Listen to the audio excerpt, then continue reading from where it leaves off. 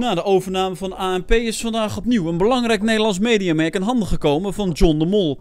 Het succesvolle YouTube-kanaal Voxpop. Een tijdje geleden uh, aangekondigd dat wij met Talpa Netwerk een soort sterk Nederlands multimediabedrijf uh, willen gaan bouwen.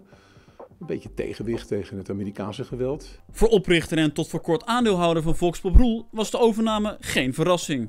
Ja, John en ik kennen elkaar van school. Nou, hij is natuurlijk al een tikje ouder, maar ik heb dan weer een paar klassen overgeslagen.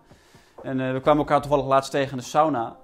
En toen uh, zeiden ja Roel, uh, loop ons even mee. En opeens stond hij daar.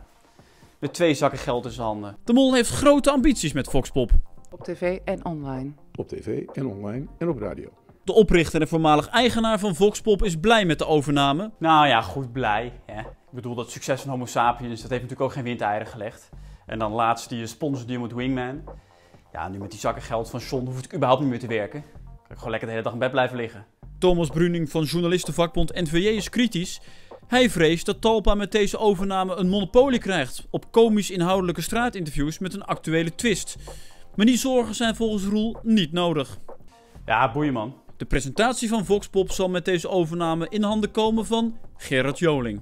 Nou, hoe leuk is dat? De groetjes van Geer. Ik zie jullie snel. Waar dan ook. Misschien wel hier ergens in het land. Doei! Pilletjes. Pilletjes? Ja, ik gebruik dat niet. Nee, jij moet die ook niet gebruiken. Weet je wat voor pillets zijn? Viagra of zo? Nee, nee, nee geen Viagra.